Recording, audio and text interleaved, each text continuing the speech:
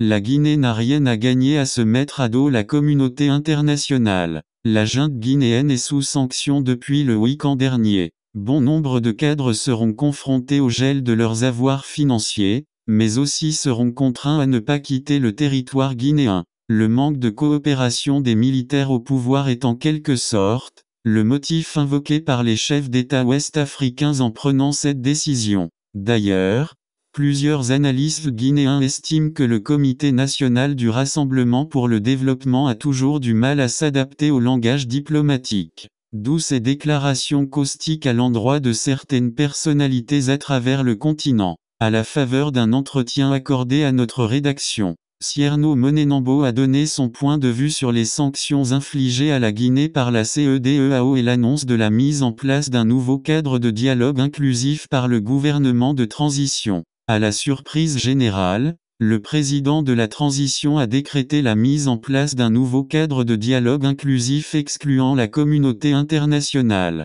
Comment comprenez-vous cette décision du colonel Mamadi Doumbouya? Une décision qui va dans le droit fil de Mamadi Doumbouya, faire miroiter une transition honnête aux yeux éblouis des Guinéens et de la communauté internationale alors qu'il ne cherche qu'à gagner du temps pour pérenniser sa dictature. On en est déjà au quatrième voire cinquième cadre de dialogue. Peut-être qu'au vingtième, les Guinéens se rendront enfin compte du terrible piège dans lequel cette lamentable junte les a pris. Umaro Sissoko Ambalo a récemment déclaré aux médias français qu'il est inacceptable que la transition guinéenne dépasse les 24 mois. Une déclaration qui provoquait l'ire de la junte. Le colonel Amara Kamara a qualifié les propos du président de la CEDEAO d'irresponsables. Le Premier ministre a également tenu des propos péjoratifs à l'endroit de cette grande personnalité. Pensez-vous que c'est la bonne stratégie? Non, ce n'est pas la bonne stratégie. Ce n'est surtout pas le bon discours.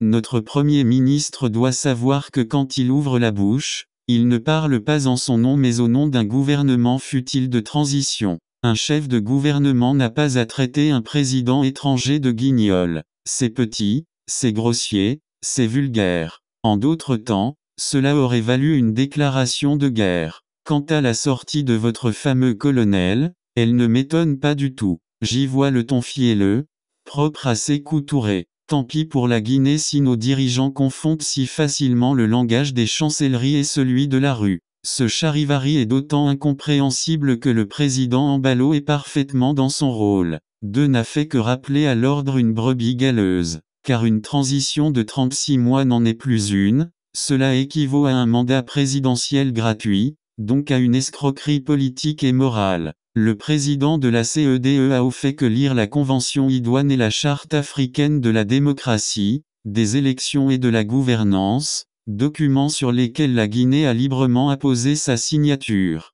Malheureusement, nos dirigeants n'ont aucun argument à avancer, ils n'ont que des injures. La Guinée n'a rien à gagner à se mettre à dos la communauté internationale. De ne faut pas confondre dignité et fanfaronnade. D'ailleurs, quelques jours après cette sortie, les dirigeants ouest-africains ont exécuté leurs menaces. Réunis en sommet extraordinaire à New York, le 22 septembre dernier, ils ont décidé de procéder au gel des avoirs financiers de plusieurs cadres du gouvernement de transition. Ce n'est pas tout, les concernés sont aussi interdits de voyager. Dites-nous comment vous accueillez cette démarche de la CEDEAO Ce sont des sanctions raisonnables pour l'instant. On donne à notre junte le temps de se rétracter, de revenir à la raison. Pour l'instant, elle ne touche pas la vie quotidienne de nos concitoyens. Nos dirigeants doivent assouplir leur position avant qu'elle ne s'endurcisse. La fermeture des frontières terrestres,